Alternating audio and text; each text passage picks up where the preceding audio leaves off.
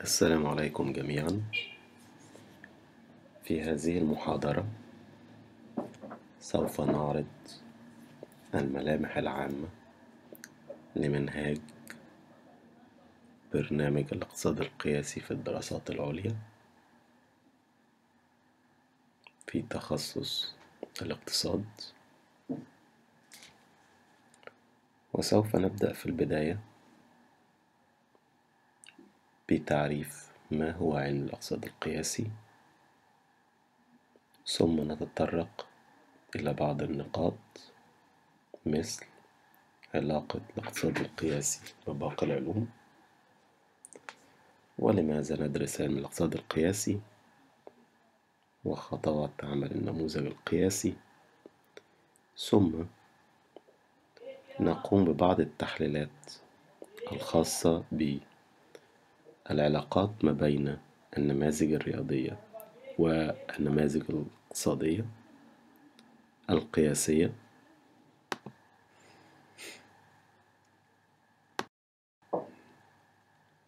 في البداية يجب أن نحدد ما هو تعريف علم الاقتصاد القياسي.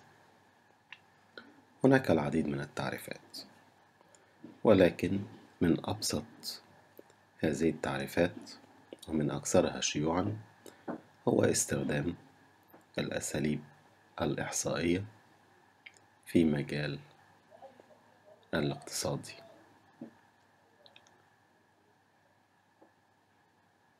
وكما هو معلوم فإن الإحصاء تبنى في أسسها الأولى على علم الرياضيات. ومن ثم يمكن أن نقول أن الرياضيات ممتزجة بالإحصاء يتم استخدامها كأدوات في المجال الاقتصادي. وذلك بهدف الوصول إلى العلاقات بين المتغيرات وإمكانية التنبؤ بهذه المتغيرات وسلوكها في المستقبل.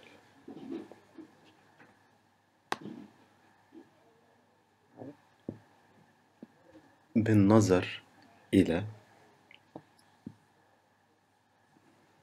ما هو موجود في هذه الشريحة نجد ثلاثة دوائر. الدائرة العليا وهي الرياضيات ثم الإحصاء ثم الاقتصاد. تفاعل وتداخل هذه الدوائر ينتج مجموعة من العلوم. فالرياضيات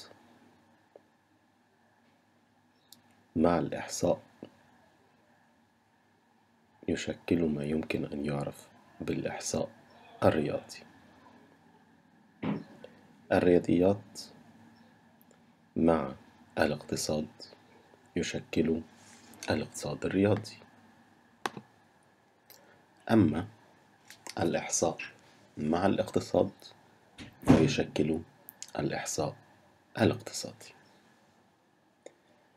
إذا ما تماست الدوائر الثلاث وتداخلت وأضيف إليها تفاعلاتها من الإحصاء الرياضي والإحصاء الاقتصادي. والاقتصاد الرياضي نجد في القلب منهم جميعا الاقتصاد القياسي وبالتالي فهو علم هجين خليط من مجموعة من العلوم. فالاقتصاد الرياضي يستخدم لبناء النظريات الاقتصادية والتعبير عنها بشكل مقتضب.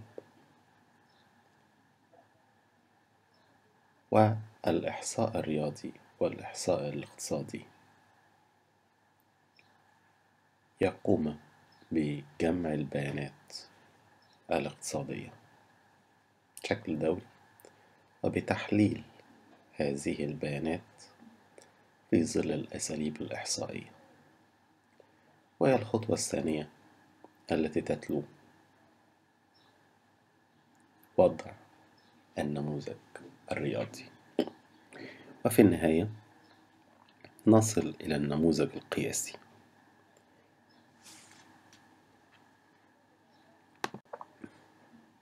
لماذا ندرس علم الاقتصاد القياسي؟ فلنأخذ هذا المثال. علاقة الطلب والسعر في ظل النظرية الاقتصادية. في ظل النظرية الاقتصادية فإن الكمية المطلوبة ويشار إليها على المحور الأفقي بالرمز QD والسعر ويشار إليه المحور الرأسي بالرمز B ويعني price أو السعر. يمكن بعد جمع البيانات أن نحصل على هذا المنحنى. ذو اللون الأخضر الذي يشير إلى علاقة الطلب وهي علاقة عكسية وبالتالي انتقلنا من الوصف اللفظي إلى استخدام البعد الهندسي. وإن هذه الحالة تشير إلى الحالة البسيطة وهو أن العلاقة تشمل فقط متغيران دون ما غيرهما وذلك في ظل افتراض أن باقي المتغيرات الأخرى كأسعار السلع الأخرى والدخل وخلاف ذلك ثابتة ولكن في الواقع هذا لا يحدث. فإذا ما أردنا أن ندخل بعدا ثالثا ولنفرض أنه الدخل فسوف نحصل على التالي علاقة الطلب والسعر والدخل في النظرية الاقتصادية. هنا نجد QD والتي تشير الكمية المطلوبة Quantity Demanded والسعر Price وهو P والإنكم أو الدخل وهو Y. الآن نرى الأبعاد الثلاثة. حقيقة إن هذه الأبعاد الثلاثة أكثر واقعية من البعدان ولكن يتضح لنا صعوبة هذا التصوير الثلاثي الأبعاد حيث من الصعب تحديد قيم أي نقطة بشكل بسيط ومجرد العين ولهذا عادة ما نلجأ في الاقتصاد إلى افتراض البعدان حيث نفترض أن باقي المتغيرات بخلاف الكمية المطلوبة والسعر ثابتة ولكن ما هي المشكلة خلف ذلك؟ المشكلة هو حصرنا في عدد قليل جدا من المتغيرات التي لا تشير إلى الحالة الواقعية. ومن ثم كان هناك احتياج إلى التحول تدريجيا إلى عدد أكبر من المتغيرات ولم يكن للرسم الهندسي. هذه القدرة حيث أن الأبعاد المعروفة هي ثلاثة أبعاد ولكن إذا ما استخدمنا الاقتصاد الرياضي ببناء النماذج الرياضية مما يعطيه لنا من فسح وإمكانية عالية جدا لإدخال عدد لا نهائي من المتغيرات. نكون قد خطونا خطوة إلى الأمام في ظل واقعية النموذج.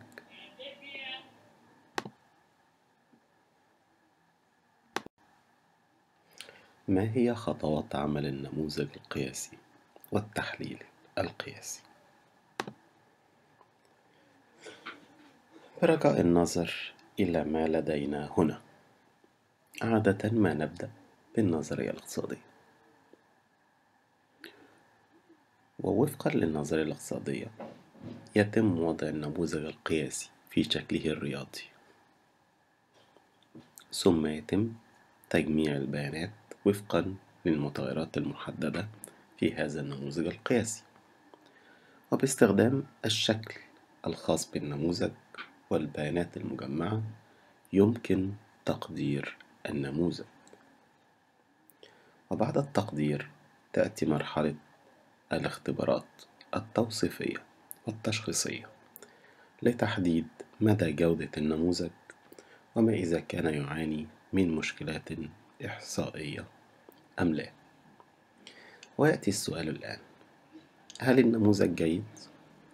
إذا كانت الإجابة لا فيجب أن نعود إلى بناء النموذج القياسي من جديد. أما إذا كان النموذج جيد فنخطو خطوة للأمام وهي اختبار الفروض. كأن نختبر فرض أن المتغير x أو المتغير المستقل له تأثير إيجابي على المتغير y المتغير التابع. وإذا ما وصلنا إلى هذه النقطة نستطيع استخدام النموذج في التنبؤ ورسم السياسات. ومن ثم يمكن استغلال هذه النتائج للعودة إلى النظرية الاقتصادية لتعديلها أو تأكيدها حسب الحالة التي نراها.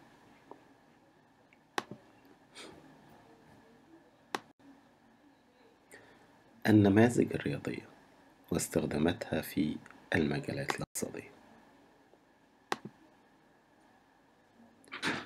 بالعودة إلى الأصول الأولى للتحليل الرياضي في الاقتصاد القياسي نجد ذلك في عمل هام من أعمال ألفريد مارشال الذي نشره في العام 1920 أو عشرون وتسعمائة وألف كما هي عادة العرب في تحديد السنوات وهذه الجملة المقتطعة من عمله أو كتابه تقول التالي That chief views of pure mathematics in economic questions seem to be in helping a person write down quickly, shortly, exactly some of his thoughts for his own use, and to make sure that he has enough and only enough premises for his conclusions. وهذا يعني اختصارا أن الاستخدام الأساسي للرياضيات في المجال الاقتصادي هو المساعدة في كتابة المشكلات الاقتصادية بشكل سريع ومختصر ودقيق للتعبير عن الأفكار الخاصة بالباحث أو الشخص المهتم بالاقتصاد. وكذلك التأكد من وجود قدر كافي وممكن للوصول إلى النتائج المرجوة.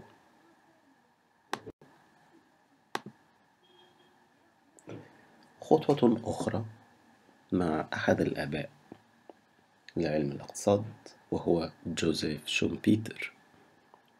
وذلك في العام أربعة وخمسون وتسعمائة وألف. وهنا نجد شومبيتر يكتب التالي. What distinguishes the scientific economist from other people who think, talk, and write about economic topics is a command of techniques that we class under three heads history, statistics, and theory. The three together make up what we shall call economic analysis. وهو ما يعني أن الفارق الجوهري ما بين الاقتصادي الذي يعمل بهذا العلم وأي إنسان عادي يفكر ويتحدث ويكتب عن الموضوعات الاقتصادية هو في الطريقة التي يقوم كل منهما بالتعبير عن آرائه وأفكاره. وفي حالة الاقتصادي العامل بالعلم الاقتصاد. فإن هناك ثلاث أسس يعتمد عليها. التاريخ بما يحويه من تجارب. الإحصاءات بما تحويه من بيانات. والنظرية بما تحويه من أفكار. وإذا تم مزج هذه العناصر الثلاث فإننا نحصل على ما يمكن أن يطلق عليه. التحليل الاقتصادي وهو الآن أساس من أسس علم الاقتصاد الذي يضفي الكثير من الأهمية لهذا العلم.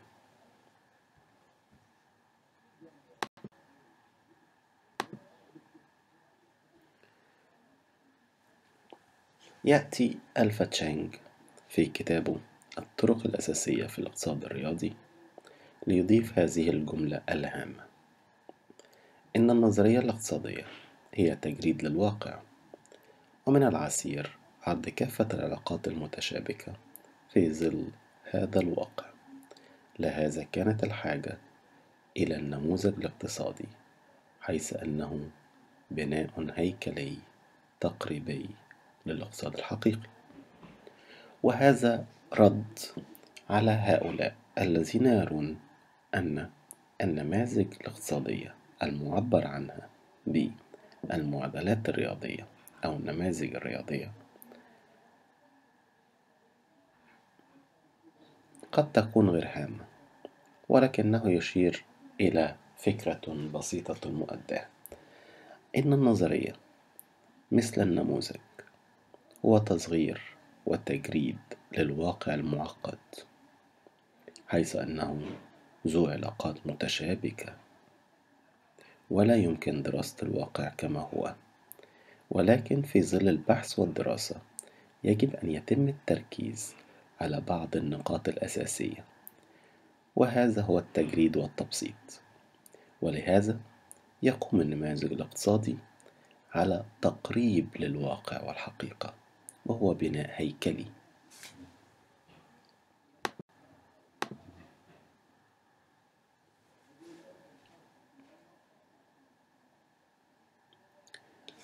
يضيف جوزيف شومبيتر في أحد أعماله الأخرى أن الطريق الوحيد الذي يجعل علم الاقتصاد قادر على توجيه وإفادة السياسيين ورجال الأعمال على نطاق واسع هو استخدام الطرق الكمية ويقصد بها الاقتصاد الرياضي.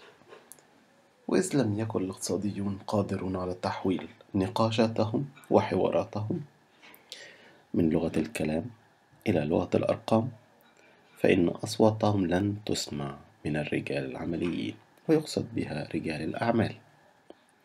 وهو يعني أن إذا ظل علم الاقتصاد قائما على النظريات والتحليل اللفظي دون ما الاعتماد إلى الرياضيات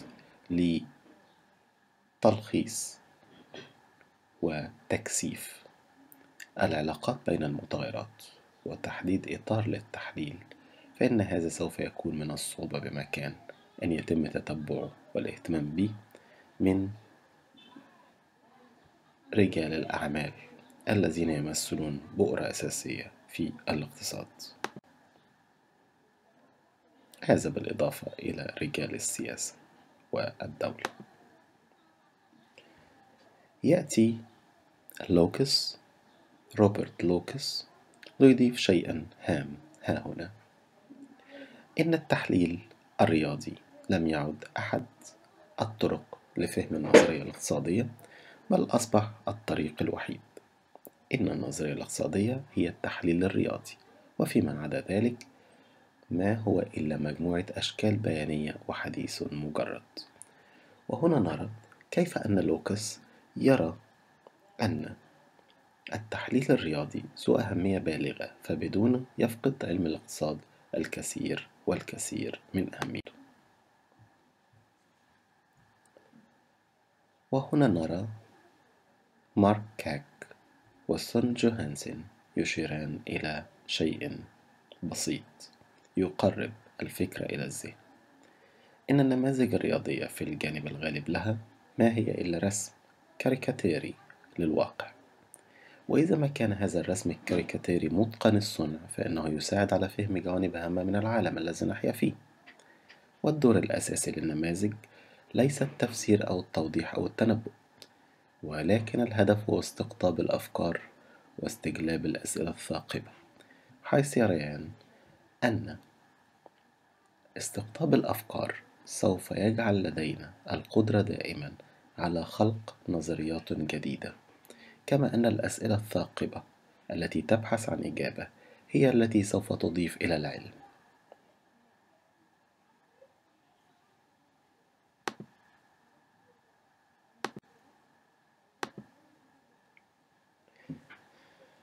ويأتي ديفيد رومر فكتابه الشهير Advanced Macroeconomics ليشير إلى نفس المغزى ونفس المضمون حيث يقول في بداية هذه الجملة But the purpose of a model is not to be realistic ليس الغرض من النموذج أن يكون واقعيا After all, we already possess a model that is completely realistic the world itself نحن جميعا نملك نموذج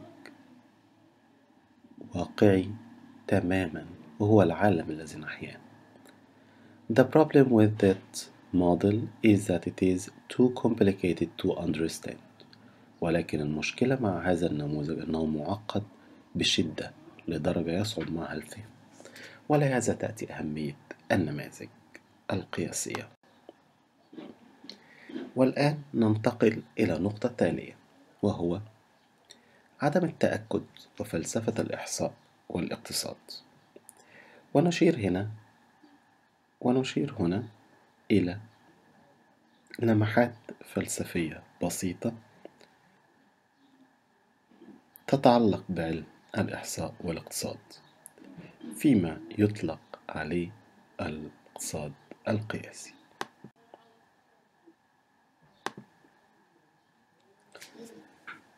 لا يوجد أمر قاطع وهذا نتيجة عدم اليقين الذي يبنى عليه علم الإحصاء.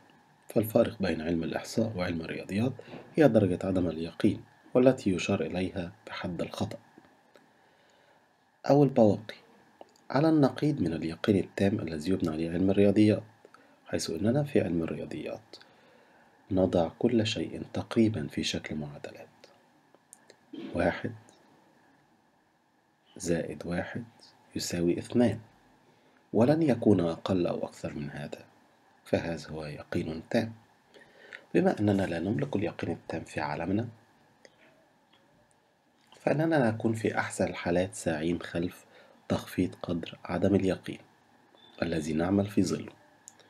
ومن ثم تتضح لنا واقعية علم الاقتصاد القياسي المبني على الإحصاء والمستمد أصوله من بناء النماذج الرياضية بإضافة عنصر الخطأ المعبر عن قدر عدم التأكد. ويمكن أن نضيف لما سبق أن علم الإحصاء القائم على عدم التأكد والذي يقاس بالاحتمال هو ما يظهر في علم الإحصاء في ظل احتساب الاحتمالات والذي يرتبط بدوره بدرجة الثقة. ومدى الثقة؟ وهو ما يرتبط مباشرة بعملية الاستدلال الإحصائي. وعند الحديث عن عملية النمذجة أو وضع النماذج أو بناء النماذج فإننا نعود إلى مبدأ الاحتمال likelihood concept وذلك يرتبط بدور مفهوم الخطر risk بما لهما من تطبيقات كثيرة في المجال الاقتصادي والمجال التمويلي على سبيل المثال.